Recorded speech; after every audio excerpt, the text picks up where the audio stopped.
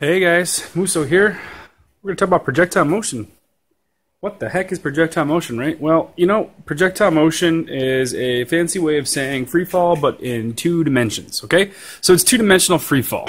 Remember, the definition for free fall is an object solely under the influence of gravity, so we remove all other accelerations or forces, which I know we haven't learned in detail yet, but you probably get the idea. Uh, so projectile motion is an object traveling in two dimensions, but the only force acting on it is still gravity. So instead of it being a ball that we drop and see how far it falls, it's an object that's going to travel both uh, forward and up and down. Okay, and I'll sketch a better path of that. So that's the definition. In reality, of course, in real life, we do have air resistance, so we will have to consider that. But when we're setting up our physics in this class, we are going to ignore the effects of air resistance, at least in terms of quantifying it. We will understand its effect conceptually. Okay? So there are two core types of projectile motion that we're going to be talking about. We've got more or less what's called horizontal projectile motion, and that's an object that's initially released with only horizontal velocity. You see how that vector, which I'll represent as v, is to the right? Horizontal projectile motion uh, is still influenced by gravity, of course, but it starts off with no y velocity. It's only got x velocity, and it'll still travel in a projectile path, like so. And the other uh, type is um, angled projectile motion. I guess is the best term for it. I don't know. Uh, an angled projectile motion is one in which the ball or the object has velocity in both dimensions originally, both the vertical and the horizontal. So it would be some velocity at some angle, hence angled projectile motion, and that um, you know goes up and then comes back down, or whatever. Like in that sense. Now, you know, as is the case with all physics problems, they can get a little bit more hairy than this, and um, so you know this this series of videos is to just go through the basics. Uh, this uh, video is going to focus on horizontal only. And then the next video will focus on angled. I'm going to go through, work out some examples, talk about some concepts to do with both, and um, yeah, just wrap it up that way. Okay, so let's do this. Let me get rid of this guy, and let's focus on just this guy. Also, uh, another thing to understand is the path in which the projectile travels, even with the angle, is always referred to as a parabolic path. And that makes sense. It looks like a parabola, right? So yeah, don't don't you know, don't overthink it. It's a parabolic path. That's it. Okay, so I don't know let's see. Let's talk about some concept first. So, a projectile that's traveling under the influence of gravity and only the influence of gravity. It's going to be traveling in two dimensions. We're going to have that horizontal dimension, and we're going to have that vertical dimension. And remember from when we talked about vectors, you always have to separate your dimensions when you do your physics. You can't combine your x and y variables or your vertical, your horizontal and your verticals. You have to keep them apart. It's painstakingly clear in projectile motion because the acceleration due to gravity only affects one dimension. You're not going to have the acceleration due to gravity pulling it forward. You're going to have it pulling it down. So the first concept is that the acceleration due to gravity only affects the y or the vertical dimension. Hence, you always have to make sure you separate your x from your y or your horizontal from your vertical, however you want to think about it. Okay? Second, your horizontal component will never change. So if I know my horizontal component right from the start is 2 meters per second, as an example, then it's going to stay 2 meters per second the whole way uh, across while it's moving. The only velocity that'll truly affect it, uh, that'll be truly changing, is um, the vertical, because acceleration due to gravity is pulling it down. Or, or slowing it down. It's still pulling it down, but slowing it down as it's traveling up, and increasing speed as it travels back down. Okay? Now, of course, when we consider air resistance, it will affect both dimensions, so that's going to be a little different. Again, we don't have to quantify that, we just need to do that conceptually, and I'll draw uh, that example, una momento, okay? Another thing I just want to talk about before I get too far ahead into an example problem is it's really, really good to organize your values. Like I've said multiple times, you have to separate your x's from the y's, so you might as well make an xy table when you do that separation so we can, uh, so we don't forget that, right? Okay? Um, let's talk about air resistance, and then I'm going to give an example about uh, two tandem objects, one falling and one projecting. So here's my object. This is where it lands if I do not have air resistance. And my question to you is, if I include air resistance, if I have air in the way, and this particle is still shot with the same initial velocity, how will it affect the way it lands? Now, what we're looking for is for you to understand that that velocity vector, which is horizontal, will experience some resistance. So it will actually, in this example including air resistance, it will actually slow down, so it won't land as far away. All we're looking for when we ask these style questions, I'll do this one in purple so you can see the difference. All we're looking for when we ask these style questions is for you to conceptually understand that it'll still follow a parabolic path, but it'll just end closer. And that's because it's slowing down the horizontal sense. Do not do what I'm about to do. Do not do what I'm about to do. I see students try to get all funky with these things and get all weird. They're like, oh, it goes up and it just does something like this. And no, we're not looking for anything like that, okay? This isn't a paper airplane catching the wind. This is just a regular old uh, projectile. Don't go and say it goes further away. Resistance means it impedes the motion, so it's not going to make it go further out. Air resistance is going to slow its effect down. It's not wind boosting it, it's air getting in its way. Okay? That's it. Concept for air resistance is over. So the other one I want to ask you is, and this is a classic example, and I'm going to go ahead and use the bullet and shell scenario. Uh, Mythbusters actually did an episode on this. I encourage you to check out their bullet and shell episode. It's pretty gnarly. Uh, and the question is let's say we have a gun, and remember, I fail physics art, physics art, so I'm not very good at taking the time to draw my stuff, but pretend this is my gun here, and it's going to shoot a bullet out of it. Oh, that is a terrible gun. Oh, well. And inside here is a bullet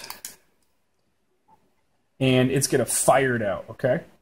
And the question goes let's say we're some distance above the ground. When you fire a bullet, pretend eh, it's a pretty terrible horizontal line, so try to get a little bit better. Uh, pretend that this is a nice, perfect scenario where the bullet, the gun, is all perfectly horizontal, and uh, this bullet will eject the shell cartridge completely down. It won't shoot up and at an angle away from you. It's just going to drop the shell as the bullet shoots forward. And the question goes, uh, what will hit the ground first? What will hit the ground first? Will it be the bullet as it shoots through the air? Will that hit the ground first? Or will it be the shell as it falls down? Which one hits the ground first? Think about it. Will it be the bullet or the shell? Some questions you might be asking. Well, what's their mass? Well, let's debunk that. Remember, in free fall, mass has no effect. So it will be they will be falling uh, as a result of the acceleration due to gravity, in the same capacity. Their mass has no effect there. Pause it if you're not ready to answer, because I'm about to give the answer. Here's what I hear a lot of students say. A lot of folks. A lot of folks will say the bullet will hit the ground first. They're going to say, well, because it's traveling super fast through the air, it's going to cruise towards the ground faster. Okay. The majority of people will say the other way around, though. They're going to say that that bullet is going to hit the ground significantly later than the shell. They're going to say that shell hits the ground, that bullet is still cruising through the air because it's going so fast. So their their suggestion is that because it's going at such a high speed that it will take longer to hit the ground. That's a logic example or a logic thought. I mean, a lot of people think it, but I'm telling you, both of those are completely wrong. It is the third option. Uh, kind of a trick question. They will indeed both hit the ground at the same time. I know it doesn't seem very obvious, and you've probably never actually shot and paid attention to this, so you never shot a gun and pay attention when the bullet and the shell hit. So I can change the same example, which I'm about to do, uh, with something rolling off a cliff or something falling from the same height. So keep this in mind, and I'm going to show you why. I'm going to try to mathematically show you why in a minute, but uh, they will hit at the same time. Why is that? Let's go through and give an example that you might have actually experienced in real life. Uh, let's say, well, I don't know. You and a friend are off swimming, and there's like a diving platform. Of course, this is water down here. You got a nice calm pool of water. And uh, you guys get all silly, and your friend leaps off, not up at an angle, but just shoots out. They, you know, come back in, they run out, and they shoot out at an angle horizontally away from the edge. And then you, you just kind of felt like just doing kind of a pencil dive, and you just dropped straight down. So you had no initial horizontal velocity or vertical velocity, just fall. and uh, your friend has a starting horizontal velocity but no initial vertical velocity. And the question is, which one of you hit the water first? And we already know the answer. I just told you. Uh, objects traveling at the same initial horizontal uh, or vertical height, undergoing the same initial vertical speeds, will indeed hit the ground at the same time. And I asked you earlier, well, why is that? What's the reason for it? And it's simply because of this. Gravity, G, only affects, it's that E versus A bit, oh well, only affects vertical motion. Or the y values. Therefore, whilst we are traveling horizontally, gravity is not increasing or decreasing that horizontal speed. It's going to pull you down the same as it pulls everything else down. Add to that, x motion, so that horizontal motion, has nothing to do with vertical motion or y motion. They do not interact with each other at all.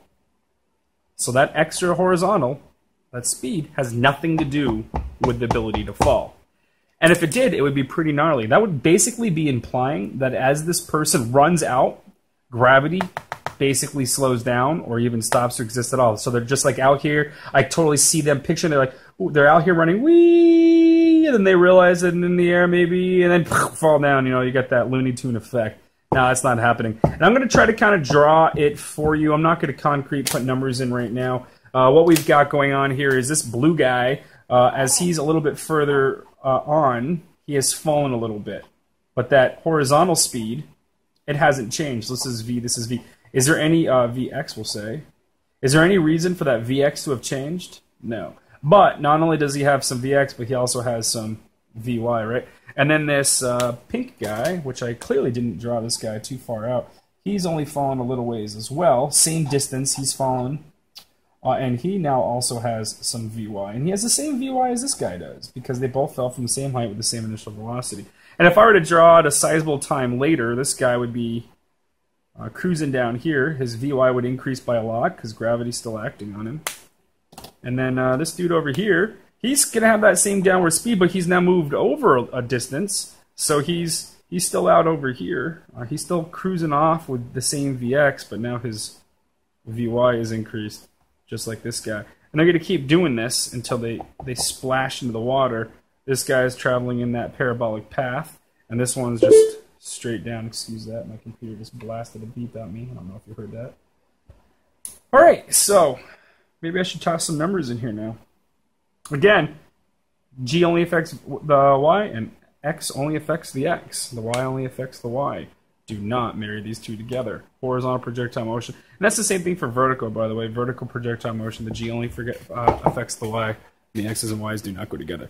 Hmm. Let's do this. I'm going to end this video here. This is the basics of projectile motion. I'm going to do another video dealing with just horizontal and another video, video with just angled. The horizontal one, I'm going to incorporate the breakdown of the vertical motion within it so you can kind of see this example with numbers. Cool. Thank you.